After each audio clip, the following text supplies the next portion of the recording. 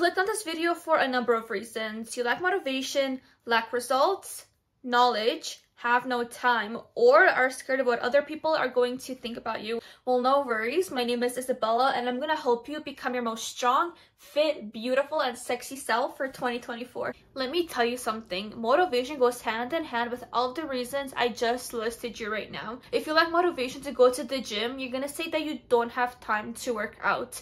Maybe the reason you lack motivation is because you don't know what kind of routine plan you should be doing, therefore lacking results because you're not working out. So you can see how all of this goes hand in hand and it's an endless spiral of excuses just because you're not putting that front foot forward and you're letting a feeling dictate what you're going to do. Motivation is not sustainable and you need to understand that now. Instead, we're to find out the reason as to why you're wanting to make this lifestyle change of incorporating working out into your day-to-day. -day. It's going to be your driving factor on the days where you don't feel like working out and it is going to happen. You're not to feel like meal planning you're not going to feel like going to the gym, but you know if you have a goal and a why in mind, you are going to do it. Is it to lose weight, become confident, feel better, find that cute little dress for your birthday? Once you figure out your why, you're going to take a piece of paper and write down goals, feelings, and execution. This is going to be your progress tracking tool for the next couple of weeks and months.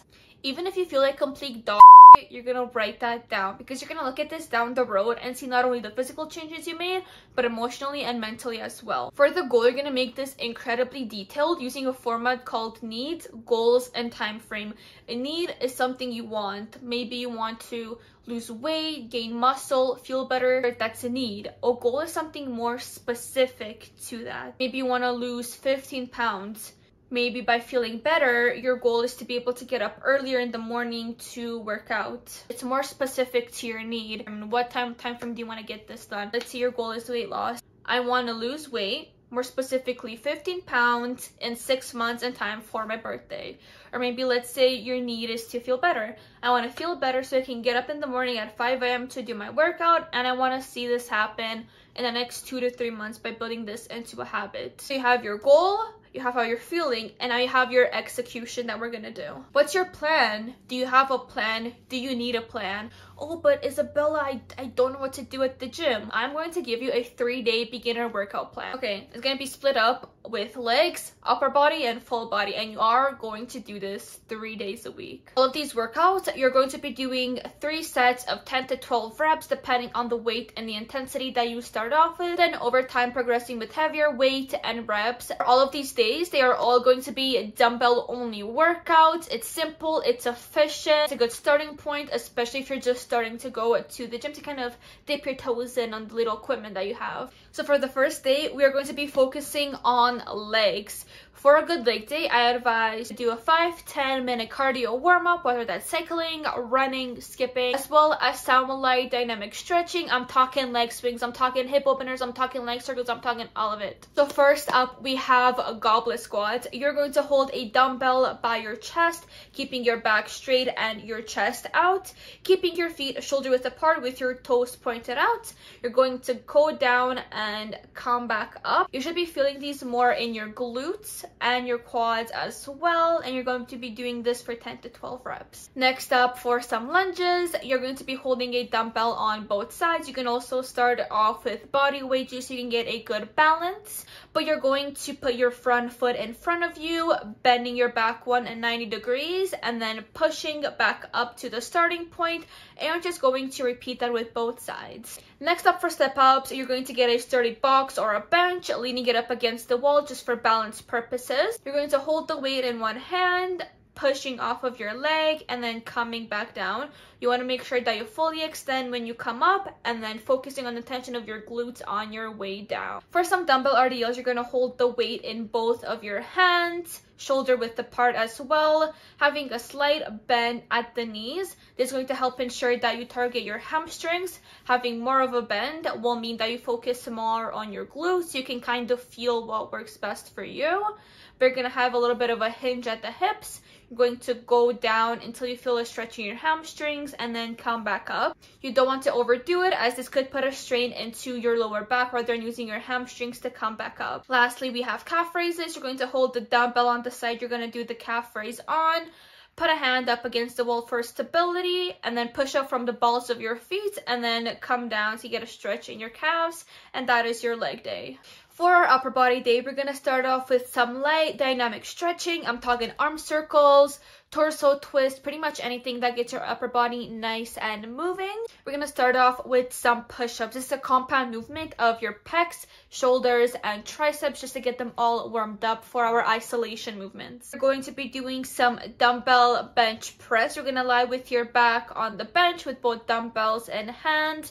You're going to push up and then come back down. You're gonna wanna stop at about the point where your chest starts doing any more than that can lead to injury and you want to prevent that. You're going to push up and come back down. Next up, you have some bent over rows for our back. You're going to lift up the bench just a little bit. You're going to take a dumbbell at hand, hinging your hips a little bit. You're going to want to have your palms facing your body and then as you bring it up, you're going to push your shoulder blades together and then come back down. Now notice that when I'm coming up, I'm slightly turning my hand in. This is going to help in getting a better stretch into your lats. Next, we're going to set our bench straight up for some dumbbell shoulder press. You want to have your arms be at 90 degrees with both dumbbells and you're want to push up and come back down. Some pointers to keep in mind is you don't want to have your shoulders completely back. You want to have them on a little bit of an angle when coming down. Some lateral raises, you're going to sit with your back straight and chest out and you should be doing this for primarily all of your workouts.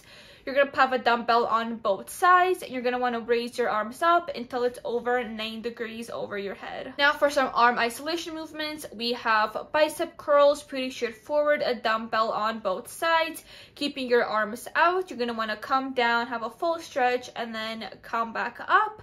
Now for some dumbbell tricep extensions, you're going to have a dumbbell, put it at the back of your head, then you're going to want to bring it out and come back up. If you did want to work on your triceps a little bit more, you can have a little bit more of a bend rather than keeping them out like this because you're going to put more tension when coming up and down.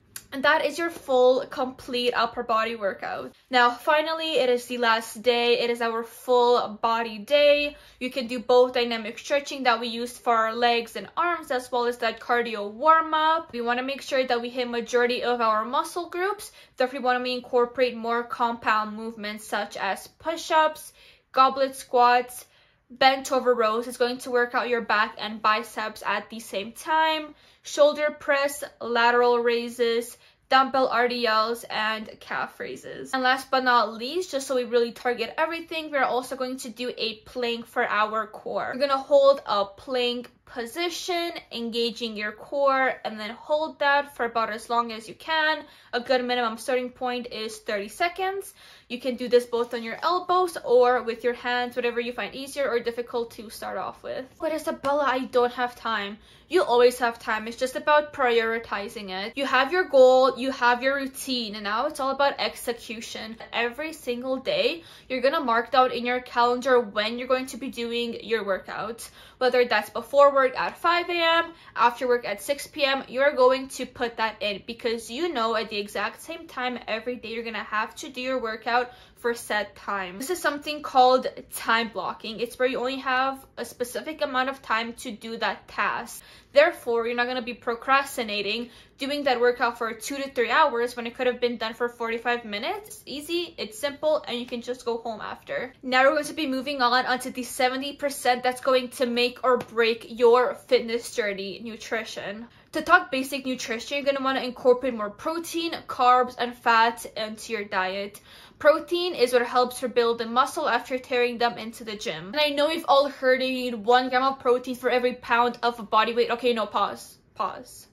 Don't try to run a marathon before you can walk. You're not going to jump straight into macro tracking, restricting yourself because that's only going to burn you out. We're gonna start off small by incorporating protein into all of your meals or majority of your meals for the day to kind of dip your toes in and get you used to incorporating protein into your diet. An easy way to do this is choose your protein for the week or the next couple of days. I'm talking chicken, turkey, beef, whatever that might be. You can make that a hundred different ways, okay? Chicken tacos, chicken fajitas, chicken Parmesan, Alfredo, it could be anything. So while we have protein for rebuilding the muscle, we also need carbs.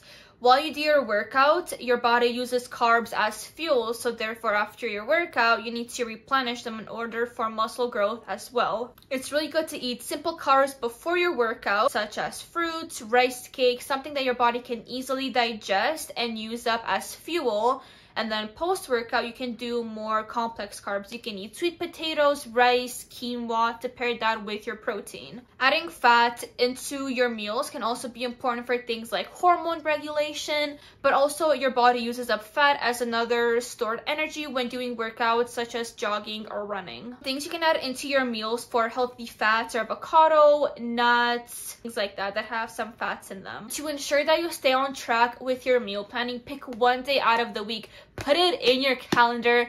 I cannot emphasize this enough by putting things in your calendar as reminders of when you should be doing them. But meal plan for the whole week or meal plan for the next couple few days and then switch it up so you don't get bored. It's really, really simple. You just gotta do it. Lastly, we have self-care and recovery days. As important as working out and nutrition is, we also want to make sure that we give our bodies enough time to rest and repair the muscles because we do not want to be overtraining them. It's only gonna hurt your gains instead of helping them. Take one to two rest days out of the week or you can do the three day body program take a rest day, and then rinse and repeat that as you go. Now, I'm not telling you to go all out and have a cheat day, but I am telling you to go reward yourself because psychologically, when we put ourselves through hard tasks, but then we know we have a reward waiting for us at the end of the day or at the end of the week, that's going to give even more of that motivation factor to do it. Remember that little notebook that I told you about? You're going to track your progress. You're going to do that at the end of every single week to write down what that progression is whether it's something you're feeling physically, mentally, emotionally, whatever that might be. And then take notes from that, whether it's positive or negative, and make changes as so. Like, let's say your workouts were really, really good this week. You're gonna keep doing them. Let's say the workouts were not as good. Well, what's the issue? Are you getting up too early? Are your workouts too long? That is, of course, something that I can help out with as well if it's more specific to your lifestyle, mindset, what your day-to-day is. If you click the link in my bio under get started, I will be able to go over all of that with you on how you can help better your workouts. It's the finale. You have everything you need to start working out, eating good, taking those rest days, what are people gonna think about me when I start going to the gym? And let me say that no one cares about you. It's harsh, but that's the truth and that's reality. Let's logically think about this. If you were someone at the gym hitting some heavy weights, have your headphones in or in the zone, are you seriously gonna look and actually think about a person and start judging them? You're not even gonna pay attention to them. You're not gonna realize that they're there. People at the gym are busy people just like you wanna go in and out, do their workouts and leave. They're not sitting there thinking about anything else but their workout and you're not gonna be thinking about others either. Hence why the three day workout I gave you was more dumbbell based. You can stay in one spot, do your workout, get in, get out, wham, bam, thank you ma'am, and you are good to go. Next time you go to the gym though, I'm gonna want you to pick out the cutest gym workouts that you have. You're gonna pick a banging playlist and you're gonna go to the gym, you're gonna strut and walk in there feeling confident AF. However though, your journey is going to be different from mine, from the next person. Age, genetics, goals they all they all play a factor. Okay the results i'm gonna get are not the same results that you are going to get and do not let that discourage you. Fitness you have to stay consistent hence building this into your lifestyle and that's how you're going to see results. If you're wanting more additional help with goals lifestyle mindset nutrition like I said, you can click the link down in my bio under get started. Message me if you have any questions. Comment down below your biggest takeaway from this video and make sure to like and subscribe. I cannot wait to see you all in my next video.